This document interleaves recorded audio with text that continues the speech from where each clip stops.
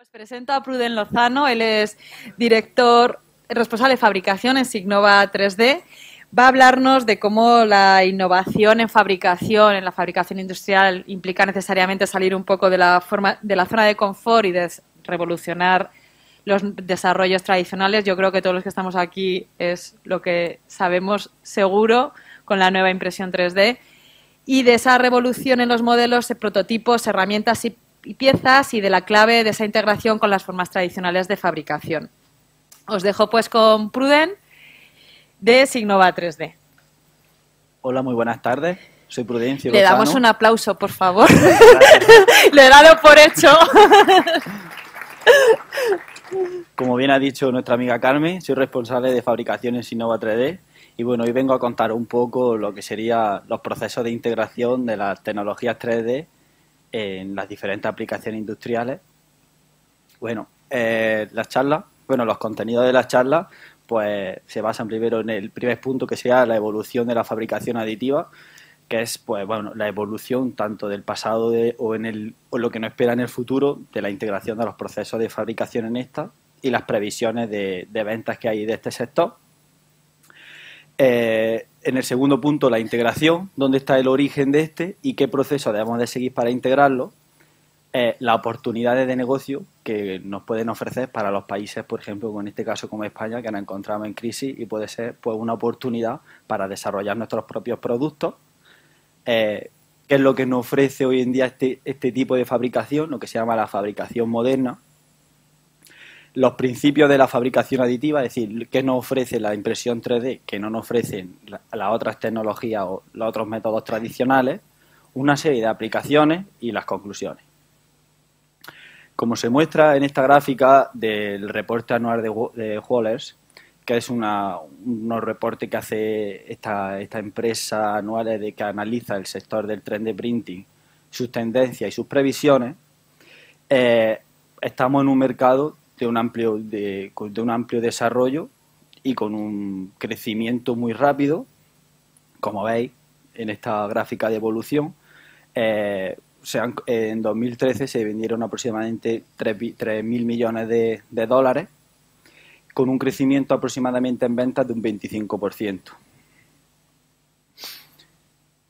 Los ratios de ventas eh, se sitúan, bueno, exceptuando en el 2009, que fue, bueno, más bien cuando fue la crisis a nivel mundial, cuando ya fue su, su punto álgido de la crisis, eh, pues como se ve se muestran también por una comparativa de, crecimiento enorme, según el reporte que nos da Garner, con aproximadamente 98.000 eh, unidades vendidas anualmente en lo que sería a nivel profesional.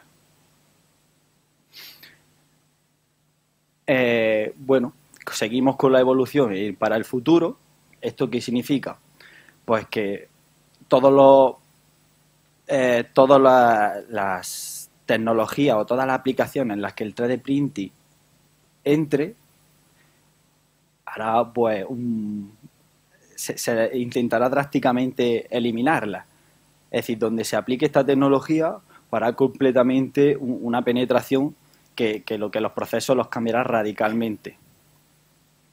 Eh, con lo que se espera que esta, que esta tecnología explote en el, en el futuro presente más cercano y que haya una representación, bueno, un aumento de, de estas de esta ventas hasta en, un 300% en cuestión de, de 4 o 5 años. Haciendo una búsqueda por Google AdWords podemos ver que la gráfica anterior se cumple. Es decir, desde junio de 2012 ha habido también un crecimiento de búsqueda de tecnología 3D en lo que es la red a vosotros me preguntaréis que por qué eh, cuento, cuento todo esto. El origen de la integración de la, de la impresión 3D nace, bueno, voy a poner primero una serie de imágenes para, que, para ver si captamos el concepto antes de, que os lo diga. ¿Qué puede mostrar esta imagen? El infinito. Este, este tipo de piezas. Este tipo de piezas que es imposible de fabricar por ningún otro método actualmente. Como, o como esta. O como esta. ¿Qué es lo que nos está diciendo esta tecnología? ¿Dónde está el origen para, para realizar ese punto de integración? en la geometría. ¿Qué nos ofrece esta tecnología que no nos ofrece ninguna otra? La geometría ilimitada. Para eso, bueno, como bien sabemos, la fabricación aditiva o el 3D print ha revolucionado lo que es la fabricación y ahora lo obliga a los diseñadores a representar lo que, a, intentar diseñar lo que es posible, ¿no? ¿Qué es posible? Eh, en los procesos de fabricación, bueno, en los diferentes niveles nos encontramos en que actualmente el 3D printing o los países como España, ¿no? Lo queremos enfocar en el nivel 4. ¿Qué pasa? Que si no aprendemos a diseñar en el nivel 1 con, para hacia la tecnología 3D, no conseguiremos nunca que llegue a explotar en estos países. ¿Y por qué todo esto? Como muestro aquí, esto es una gráfica de lo que los países, los principales países que investigan eh, o que invierten en investigación y desarrollo, en este caso enfoco el sector de la automoción porque España, el principal sector de ventas que tiene, de, bueno, de generación de beneficios, es el sector de la automoción, del automóvil, como ahora os mostraré a continuación. Pues como veis, ¿qué empresas son? De todas estas empresas no hay ninguna que sea nacional o hispanoparlante incluso. Como os comentaba hace un, segundo, esto es el cuadro de beneficios o de, o de ingresos que, que, tiene nuestro país, en qué, en qué sectores se centran. ¿no? Como veis, el sector de la automoción, del automóvil, tanto pesados, vehículos ligeros, e incluso lo, lo que sería de la, los vehículos sostenibles, ¿no? Somos principales productores de estos, de estos productos. En esta tabla bueno, bueno, ¿por qué no se acelera el proceso de integración de las tecnologías 3D en los países hispanoparlantes? Porque de esta tabla de los principales países exportadores, de los principales países importadores, nosotros, o España, solo se encuentra como país exportador para Italia y Francia, y el segundo ya, bueno, y, otro país que se integra en, este, en estas tablas sería México, que exporta a Estados Unidos. ¿Esto qué quiere decir? Pues que nosotros no somos países creadores de productos. Nosotros dependemos de otros, de otros países, como puede ser el caso de España. Voy a poner un ejemplo, SEA, que está en Barcelona, depende de Volkswagen, que está en Alemania, que es donde diseñan su producto y donde haría falta una impresora 3D pues, para crear sus prototipos. Aquí cuando llega a España el producto ya llega definido. No quieren cambios, quieren que lo fabrique. Y ahora mismo esta tecnología no está eh, desarrollada para fabricación en serie. Los métodos convencionales son más prácticos. ¿Qué quiere decir esto? Que esto al mismo tiempo es un contra porque no va, puede generar ventas en estos países de tecnología 3D, pero tiene una cosa a favor, que esto es como empezar desde cero para que países que no son creadores de productos, no son desarrolladores, tengan una oportunidad para crecer eso es muy importante, que en una época de crisis en que España, ¿cómo podemos salir de la crisis? De esta manera, creando nosotros nuestro producto y ayudándonos de esta tecnología para desarrollarlo. ¿Cómo se puede acelerar el proceso de integración de, estas tecnologías? De esta manera, fomentando el diseño. Si nosotros fomentamos el diseño, desde, bueno, o en la escuela de diseño o desde pequeño, de aquí a unos años tendremos gente formada para diseñar productos que se puedan realizar solamente por estas tecnologías.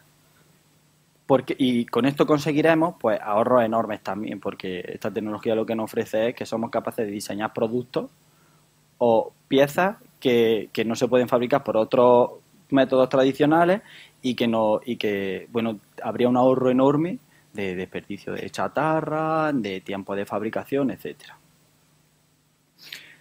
Como en esta en la tabla de la izquierda se muestran los países que más invierten en investigación y desarrollo. Como veis, España se encuentra en el número 14. Como os comentaba anteriormente, nosotros nos situaríamos en lo que sería la fase de preproducción, aquí, donde, y donde las tecnologías, las tecnologías 3D tienen un poder más de integración sería la fase 2, fase 3 y fase 4. Bien, pues ¿quién, respecto a la fabricación moderna, ¿quién hubiese pensado hace un año que la fabricación podría hacerse sin una fábrica? ¿Esto qué quiere decir? ¿Quién hubiese pensado después de la revolución industrial que las empresas iban a, poder, a poderse hacer sin máquinas de herramientas, sin economía de escala, sin mancharse el operario de grasa? Esto es lo que significa la tecnología 3D, una fabricación limpia, que se pueda fabricar desde el lugar más tranquilo y más reducido y, y más limpio sobre todo, como podéis ver en esta imagen os muestro un vídeo a continuación de cómo fabrica una máquina, en este caso de, de multi printing.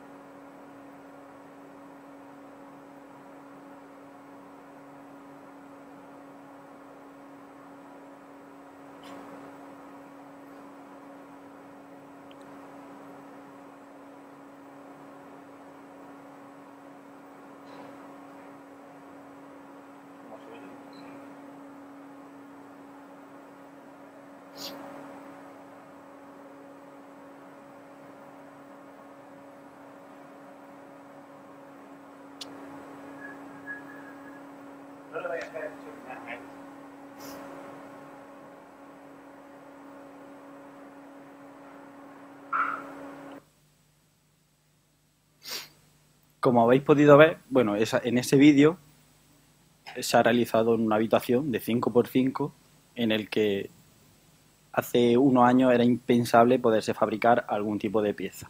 Ahora bien, ¿qué es lo que nos ofrece en esta tecnología que no ofrece los métodos tradicionales? Libre complejidad de fabricación. ¿Qué significa eso?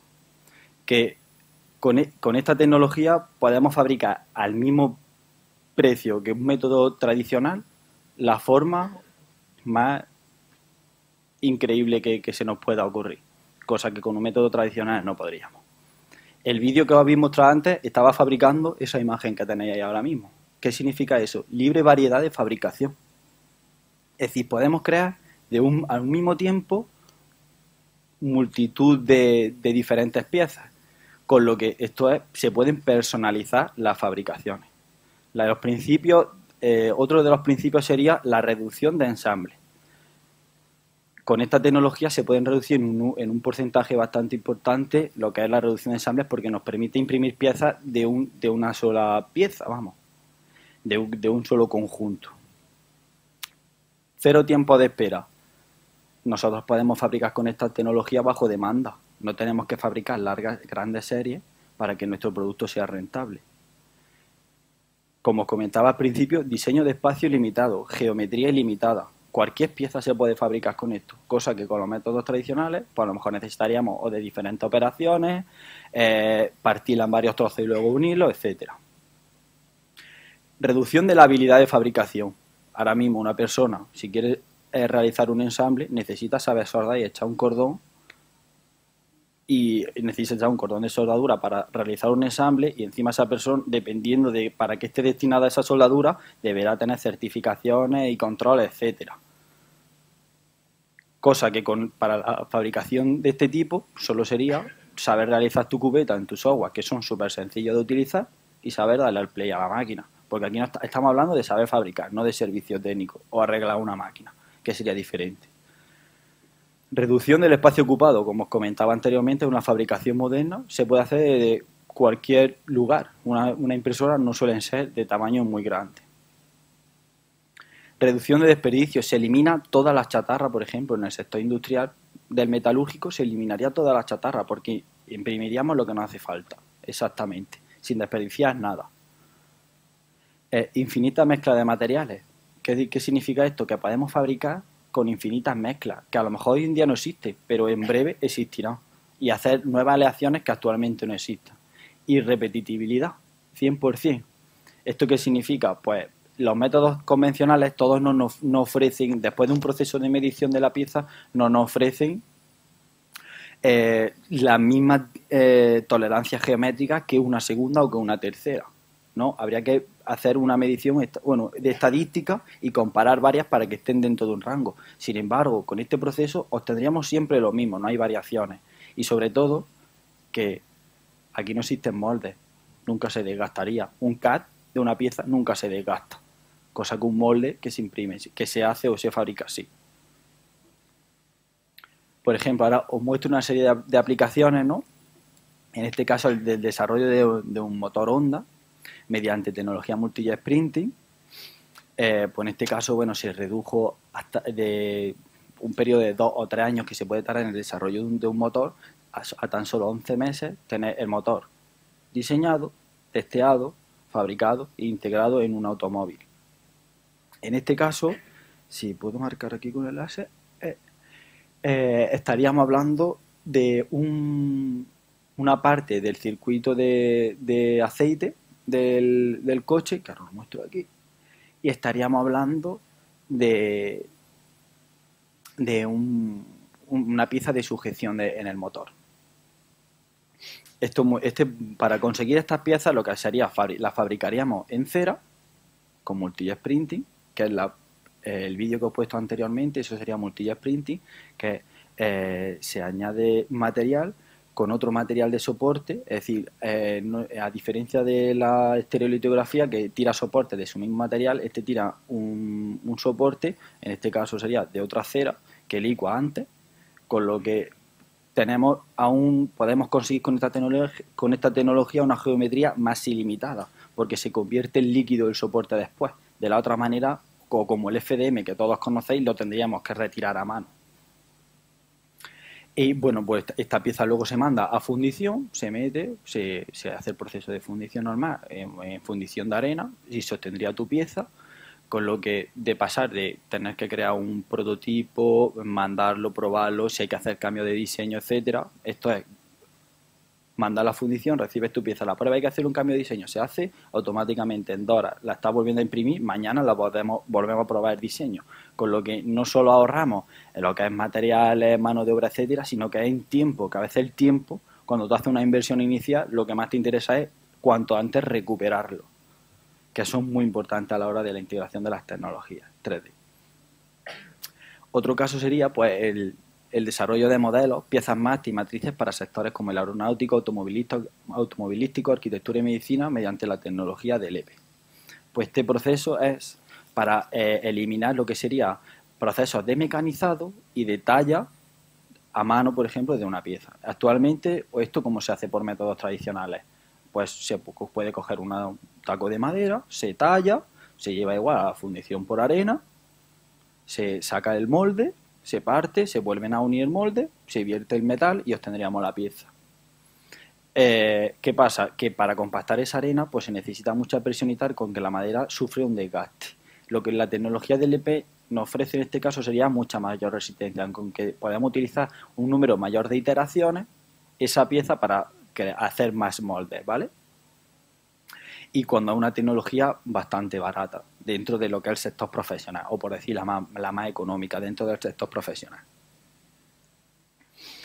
Eh, aplicación de la tecnología multijet printing en hidroforming. Veis que hablo mucho de multijet printing. ¿Por qué? Porque al ser una tecnología que nos ofrece una variedad más amplia de geometría, por lo que os he contado antes, que los soportes se vuelven licuos, con lo que podemos conseguir, incluso circuitos internos y tal, como mostraré más antes, mm, que por otras tecnologías de impresión 3D, como sería FDM o DLP o esterilitografía, no se podrían conseguir. Eh, esta, esta, en el sector industrial esta eh, tecnología tiene mucha mayor aplicación. ¿Esto en qué consiste? Pues a partir de un diseño, imprimir la pieza e intentar conseguir eh, una pieza ya bien sea de fabricación corta de metal, para fabricaciones cortas, fabricaciones en series largas, y que sobre todo queramos obtener embuticiones profundas.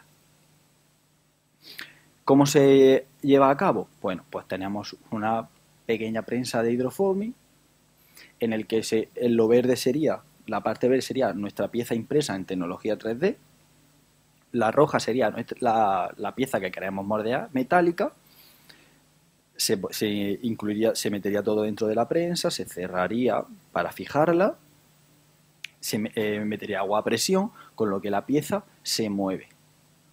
Se, deforma, que perdón, se deforma, se embute y luego ya está, pues cesaría la presión, extraeríamos la, la pieza. Esta aplicación tiene mayormente para piezas de vista, piezas de piel, que por prensa no se podrían hacer o por procesos mecánicos no se podrían hacer porque hay fricción entre el troquel y la, y la pieza, con lo que mm, visualmente no, es, no sería una pieza aceptada a ser, por ejemplo, la carrocería de un coche, que necesitamos ver y que no haya fricción.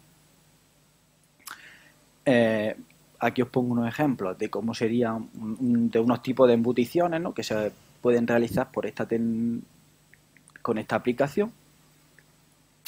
Y ahora aquí, pues bueno, como estáis viendo, si nosotros llamamos un matricero para que nos haga una pieza de metálica para llevarla a este proceso para una serie corta, nos puede tardar X meses, con que en esto en 6 horas lo tendríamos, podríamos realizar cualquier tipo de diseño, modificarlo y volver a tener otra. Con, de esta manera, el, nuestro eh, matricero de la forma convencional solo nos haría un troquel para una pieza. De esta manera podríamos incluir varias, con lo que eso significa personalización y bueno, como eh, después de probar hasta 100 iteraciones, eh, pues la, pieza nos mostraba signos de desgaste. Es decir, esto, estamos hablando que tampoco vamos a pensar en embutir piezas de unos espesores 2, 3, 4 milímetros, piezas de, un espesor pues razonable, ¿no? De, de unas décimas. Pero, como podéis observar, la pieza sale embutida y como lo podéis comprobar ahora, Okay, hydroforming printing tool off of 3D Systems ProJet printer. 5000 PSI.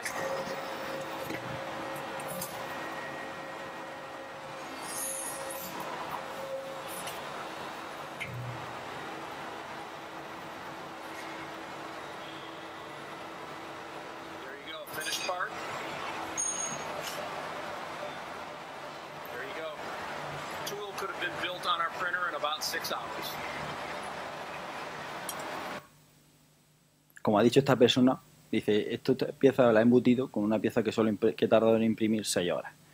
Esta pieza que se ha impreso es normal, resina acrílica, que en este caso pues está aguantando una presión de 34 megapascales. A una serie de para 100 iteraciones, es decir, una serie corta de pruebas para hacer un prototipo, X prototipo, o para fabricaciones muy cortas, muy personalizadas, esto sería muy útil. Por ejemplo, eh, esto en, el sector del automóvil, lo que sería, no aumentaría sería lo que es la economía de escala, es decir, aprovechar unas piezas o hacer coches, por ejemplo, muy personalizados, para hacer series muy cortas. No sería muy difícil eh, eh, integrar en nuestros procesos de fabricación eh, una nueva pieza para fabricar una nueva versión de un coche, por ejemplo. Esto, bueno, el caso de economía de escala en el mundo del automóvil, porque el, que mayor aplicación está realizando es Volkswagen o Audi, eh, con el MQB, que se llama, ¿no? que son procesos de, economía de escala para utilizar piezas de unos coches para otros, para versiones posteriores. Eh, bueno, por otro lado, tenemos la reducción, como he comentado antes, uno de los principales eh, principios de la tecnología a través de la reducción de ensambles y soldadura de los conjuntos, como veis, piezas impresas que por métodos convencionales que no estén mecanizados deberían estar soldadas por todos los puntos de unión y como veis, por ejemplo, en este inyector pues se reduce la soldadura de 25 a 5 que al fin y al cabo es tiempo de operario que está ahí soldando o de un útil que se ha tenido que realizar para ponerlo en un robot para que esté tirando cordones de soldadura. Bueno, esto es una pieza, una, una plataforma de impresión de, piezas de circuito de, en tecnología de SLM, sintetizado de metal. Aquí os muestro una, una pieza que se realiza por métodos convencionales soldadas y aquella impresa en metal, como veis la eliminación de la de soldadura, por ejemplo, aquí, ahí no hay. o este otro ejemplo. Bien, ¿qué más tenemos de aplicaciones de la tecnología multi printing? En este caso en la matricería. Tenemos dos vías para obtener nuestro CAD para llevarlo a la impresión. A partir de un digitalizado, tenemos ya una pieza que se ha fabricado previamente o a partir de una impresión, de un, o de un, a partir de una impresión de un CAD. Vale.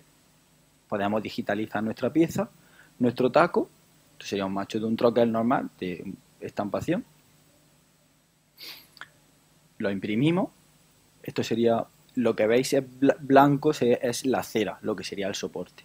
¿Qué quiere decir? El material de soporte es más económico que el material de, pieza. Como podéis ver, esta pieza está hueca, con lo que tenemos un ahorro mayor. Al pasarlo por el, eh, por el, la, bueno, la eliminación del soporte, que es meterlo en un horno a 60 grados, que es como la parafina, se vuelve líquida, pues la, dejaríamos líquida, con lo que una pieza que haríamos actualmente maciza, la podemos hacer hueca, cosa que no se puede por otro método no se podría conseguir. Con lo que también estamos haciendo al mismo tiempo ya un ahorro de material en la impresión. Pues esto es muy fácil, esta pieza la llevaríamos a la impresión, de la impresión, la lleva, cuando tenemos el taco lo mandaríamos a la fundición, por fundición por arena se obtendría la pieza metálica, como con la impresión 3D conseguimos superficies más lisas, ahorraríamos tiempos de mecanizado y de pulido posteriores, incluso con, la fundición normal porque sería esto con esto se conseguiría la eliminación del poliestireno expandido. Eh, con el poliestireno expandido, para piezas tan pequeñas no se podrían conseguir lo que serían los taladros mecanizados. Con la impresión 3D ya sí los podemos conseguir, con lo que después no tendríamos nada más que aumentar un poquito el radio hasta conseguir la tolerancia deseada. No tendríamos que desbastarlos desde cero, con lo que eso también es un ahorro de tiempo a la hora del mecanizado. Como podéis ver, ese sería el taco original, bueno, ya el taco a partir de un, de, un mecanizado y ahí tendríamos la comprobación del taco impreso para llevarlo a posteriori a la fundición y ver. Esto que nos permite también, antes de desbastar o de mecanizar o de llevar a la fundición, nos permite verificar que lo que hemos diseñado, lo que hemos fabricado está bien porque ya lo estamos comprobando sé que eh, luego después en el proceso de fundición existe pues un, pequeño, una pequeña bueno, disminución de, volumen, pero solo en el eje de arriba, donde luego tendríamos que pulir.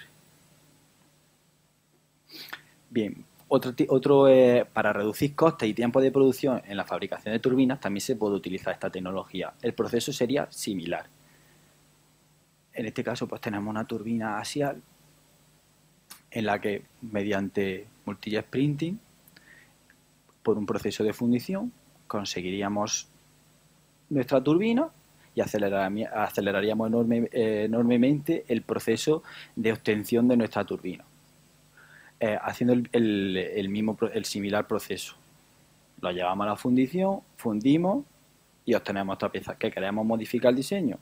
Se modifica en dos días, lo volvemos a mandar a la fundición y los tendríamos con lo que los plazos de, entrega o de, o de consecución del prototipo final se reducirían enormemente. Y por último, en el sector de deporte eh, también tiene aplicaciones. Si los deportistas de alto rendimiento, eh, hace un año, pues, por ejemplo, en este caso en el grima, su empuñadura pues tendría que ser normal. Se podría eh, ajustar un poquito, pero hoy en día lo que es la digitalización nos ayudaría mucho para ajustarla totalmente, con lo que en su rendimiento a la hora de practicar el deporte, pues lo ayudaría. Con ello se puede digitalizar perfectamente la mano, el pie para hacer una zapatilla o incluso una persona que sea eh, minusválida o que le falte una pierna o un brazo, se le puede hacer una prótesis exacta, réplica de su mano de su pierna o de su miembro homólogo. Con lo que luego se imprimiría la pieza exactamente acorde pues, a su morfología. En los moldes de inyección, pues exactamente sería el proceso. Que es que no ofrece, pero en este ya nos ahorraríamos pasar por los procesos para series cortas por procesos de fundición. Esta tecnología que nos ofrece, como he comentado, la creación de circuitos internos de refrigeración que son imposibles de crear por otra, por otra tecnología. Es decir, podemos llegar a la parte más extrema del troquel para poder hacer un mejor enfriamiento y obtener una mejor calidad del producto. Como veis en la imagen, estoy cogiendo un, un clip. ¿Cuál es el diámetro de un clip? Como veis, la, impresora es capaz de imprimir diámetros más pequeños que un clip. Con lo que estamos hablando de llegar al punto más remoto de nuestra matriz. Hasta incluso otros más gruesos, como podemos ver en la imagen de la derecha. Esto sería un ejemplo de una matriz. También os pongo ahí en amarillo la pieza que se pretendería conseguir. ¿no? En este caso, pues eh, sería conveniente añadir unos circuitos de refrigeración porque la pieza es muy gruesa y como es una resina acrílica, que sí que se le hace un, proceso de distorsión de, su, de, su, temperatura de aguante para una eh, definida presión para que, porque al fin y al cabo no es metal, es una resina y necesitamos que aguante por un periodo hasta que se produce el enfriamiento. Para eso se inclu pueden incluir los, circuitos de refrigeración para que aguante un poquito más, porque estas resinas a partir de 80 y tantos grados, 82, 88, 90, empiezan ya a deformarse con una calor y con una presión. A menor presión, más temperatura aguanta. ¿Vale? Pues solo haría falta incluirle esos circuitos de refrigeración y esta pieza se podría conseguir perfectamente. Como veis, puesto un caso práctico de un molde, un molde que no ha pasado todavía por el proceso de eliminación de cera, que veis esos rayitas blancas que se ven en la cera de, soporte, que se llama, que también la hacen para que también, o que también se le aplica en la superficie para que no haya desviaciones en lo que sería la impresión de la parte. Y bueno, y como conclusiones finales, pues como habéis podido ver, pues el mercado está en auge, hay una buena evolución, unas buenas previsiones de mercado. Este mercado que nos ofrece pues, una revolución en la, en la forma de fabricar que tiene que venir previamente, por, o es una necesidad primeramente cambiar la perspectiva del diseño, saber diseñar para fabricar con esta tecnología y que una persona cuando diseñe de aquí a un tiempo mande esa pieza, llegue a su cliente y diga, esta pieza cómo la puedo fabricar? Por tecnología 3D solamente, no se puede fabricar de otra manera. Claro, obteniendo, pues, por ejemplo, eh, ahorros de peso para evitar emisiones, eh, ahorro de eliminación de, espacio, ¿no? Para hacer piezas más reducidas de, de, de tamaño y que no ofrezcan las mismas, las mismas características mecánicas, por ejemplo. Como os he comentado también, en esta época que nos ha tocado vivir, pues una oportunidad de desarrollo de nuevos productos. No dedicarnos solo a fabricar lo que las ideas que otros nos dan, sino crear nosotros nuestras propias ideas para fabricarlas. Y como podéis visto observar, son innumerables las aplicaciones de este sector y más que tendrán que venir y hasta que esto sea capaz de aplicarse a todo. Bueno, pues gracias por su atención y muchísimas gracias también por asistir.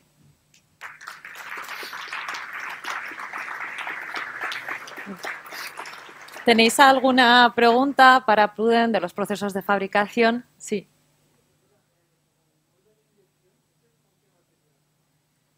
Lo de los circuitos de refrigeración. Sí. O la pieza de después. Sí, eso es para inyectar plástico. En series cortas, no a volúmenes. Bueno. Vale, esto solo es para lo que es el molde. Primero, lo que sería la, la, la el cascarón del molde sería de aluminio como se hace actualmente, ¿no? Pero eso sería lo que se fija luego a, la, herramienta, ¿vale? Esto se hace, en este caso, eh, con un material, con una resina acrílica, que en este caso, bueno, nosotros somos Innova, trabajamos con 3D System y sería BCJX, se llama ese material. Es una resina que a su temperatura de distorsión está a los 88 grados. Este, esta temperatura se puede aumentar aún más a partir de una gráfica tiempo, bueno, se, se le aplica la, a, a la matriz impresa en un horno una temperatura durante un tiempo, se va escalando, ¿no? Tiempo, una temperatura, aumento de temperatura, tiempo, para aumentar aún más esta temperatura de distorsión. ¿Alguien más? Te dejo, aunque se oye bien, pero... Ah, vale. Buenas tardes. Buenas. Eh, ¿Cuándo tendremos la tecnología 3D para hacer producción de piezas metálicas? Eh, actualmente el problema del sintetizado de metal, bueno, también eh, ha salido actualmente el electrodo Beam Welding, que es como un FDM de, de metal, ¿no? Pero eso todavía, pues las capas no son muy definidas y necesitaría un postproceso de pulido después, no sería una pieza definitiva. Y con el sinterizado de metal el problema que tenemos es el soporte, que el soporte hay que eliminarlo y el soporte es del mismo metal. Entonces, eh, pues actualmente para producción serie de piezas metálicas, para algunos temas como son, por ejemplo, en este caso, los circuitos internos de refrigeración de los moldes, lo que habría antes de esto, ¿no? el, cascarón del molde, ¿no? el molde que imprimimos, esto por fuera lleva otro molde que lleva un circuito de refrigeración. Ese, los circuitos estos se están imprimiendo ya con, esta tecnología, pero tiene aplicaciones muy puntuales todavía el sintetizado de metal. Por ejemplo, en el ortodontista también tiene, ¿no? Odontología, en medicina, pero son aplicaciones muy puntuales. Sin embargo, el multi-sprinting actualmente, pues fíjate, como ha podido ver, tiene una versatilidad más grande, pero siempre pasando por un postproceso después, no una pieza final. Actualmente no hay una aplicación para una producción en serie, por ejemplo, que sería pues eliminar, vamos a eliminar el proceso de estampación de una pieza y la vamos a hacer por... no es rentable aún. Porque la tecnología es cara, no está muy desarrollada y los materiales tampoco están muy desarrollados. ¿Y para cuándo será eso? ¿Tienes alguna idea por, aquí? Eh, bueno, se pretende, yo creo que para 2020-2025. Se, por estudios que hay es cuando va a llegar el boom, ya cuando ya va a llegar a su meseta y se va a estabilizar la, la tecnología 3 pero todavía nos quedan muchos años trabajando en ella. Bueno, como hemos podido comprobar en este año, es que han salido ya infinidad, en cuanto han terminado las patentes, están saliendo ya infinidad de nuevos productos, etcétera. Pero es que eso, hasta que no se vayan liberalizando las patentes, mm, solo tenemos una mente trabajando en ellas. Cuando ya se liberalizan, empiezan a trabajar ya todos, que es cuando más se desarrollan los productos. Yo al hilo de esto, si me permitís, eh, yo creo que además del aspecto estético, yo creo que la gran asignatura pendiente de la impresión en metal es la resistencia mecánica de las piezas. Es muy porosa. tenemos muchas piezas que no podemos hacer más que estampando en matricería tradicional. Si tiene que aguantar una serie de esfuerzos, pues eh, con una impresión en capas yo también lo, estoy. Sí, es una de las cosas que como ingenieros industriales pues estás esperando. Supongo que hay investigación en materiales sobre todo, ¿no? Que cada vez van teniendo más. de aleaciones se van en FDM. Yo creo que Ruyer estás aquí. A lo mejor mañana con la Fundación CIM habláis algo de toda la investigación en materiales, en metales y tal para pymes. no, seguro que le podemos preguntar porque hay tanto ellos como más fundaciones en España y fuera. En investigación en impresión en metal hay mucho y se está avanzando bastante, pero yo, yo creo que es una asignatura pendiente súper importante. ¿El qué? Pues, pues igual merece la pena hacer una matriz ¿eh? todavía. Sí. Eh, eh, la mayor aplicación que tiene, porque unas máquinas de multijazz printing no, no son de las más caras, son de las gamas profesionales un poquito media o un poquito por debajo de media comparando con la poliamida, comparando con la estereolitografía, comparando con el sintetizador de metal, que están muy por encima. Una máquina de este tipo, como he mostrado en el vídeo, está sobre los 100.000 euros, que para una industria no debería ser, pero esta máquina le da opción de conseguir eh, piezas bueno, con un proceso de fundición, está claro, piezas que luego se ahorran muchas horas de tiempo de máquina, de mecanizado, tener un operario delante y sobre todo que en la, fase de diseño les, permite evolucionar muy rápido, que es lo que nos ofrece esta tecnología. Porque esta tecnología, bueno, también puede imprimir en cera, puede imprimir en resina, al final algunas son calcinables, otras no, en joyería, ¿no? Nos permite conseguir, por, la resolución de esta tecnología, nos permite conseguir joyas, pues, o tallas más, eh, con una definición mayor, ¿no? Que artesanalmente antes no se podían conseguir, ¿no? Con lo que también el cambio ese viene que la persona que está tallando, que es una lástima porque se perderá, pero es que se, podían, se pueden conseguir joyas más bonitas o más definidas o con geometrías más increíbles de este modo que una persona tallando la mano. Yo tengo otra pregunta. Me he venido arriba. Eh, en los modelos, en lo de la cera perdida, el moldeo de colada y todo, está clarísimo el modelo. En el de inyección que ha preguntado él, yo tengo dudas. Pues no me ha quedado claro cuál es la parte impresa. Pues yo en un, a ver, en molde de inyección de plástico no veo que una resina de estas te vaya a aguantar. O es el modelo para hacer el molde, No, o, no, o es un inserto que metes en el molde, lo que imprimes con esto. Ahí está, sí. Lo O que sea, es, No es Una- algo que está en que- contacto con la pieza final, porque Sí, la- sí, los sí, está en 200, contacto. sí, pero tienes 200 grados hombre, en molde claro, de no vamos, no vamos a a inyectar ese tipo de no, no, piezas muy grandes, ¿no? A una Vale. determinada presión, que es la que aguantan estas tecnologías, y, y a una determinada temperatura, con una serie de iteraciones. Pero por eso, esta tecnología que nos da, para incrementar ese número de iteraciones, lo que nos da es lo que no nos ofrece el metal, que podamos hacer circuitos de refrigeración mucho más complejos, más cercanos a la pieza. Con lo que actualmente para hacer eso eh, se tienen que hacer por tacos diferentes y luego unirlos, con lo que hay luego muchas pérdidas, muchos paros de máquinas, etcétera. Y cuando quieres hacer una serie muy corta, 100, 200, 300 piezas, porque actualmente pa- con el just in time o con la reducción de inventario, la gente lo que te pide son series muy cortas. Con lo que hacer un troquel que lo vaya a amortizar en 20.000 unidades en 15 años, pues no es rentable. Pero si hago un troquel que lo tenga que tirar, que sea cada 200 piezas, pero que me cueste 300 euros o 400, pues imagínate La rentabilidad que nos ofrece eso.